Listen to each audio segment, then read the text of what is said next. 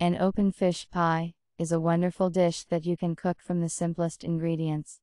A delicate fish pie is suitable for a lunch feast or for dinner. I recommend to try it. Potatoes are washed and peeled, then cut into thin circles. We lower the potatoes into boiling water for 3 4 minutes. Then we take it out and rinse it under cold water.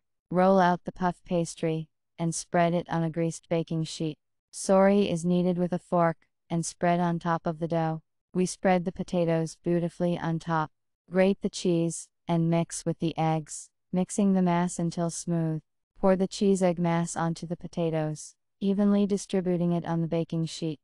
Bake the pie in the oven for 30 minutes. The temperature is 190 degrees. Done. Bon appetit.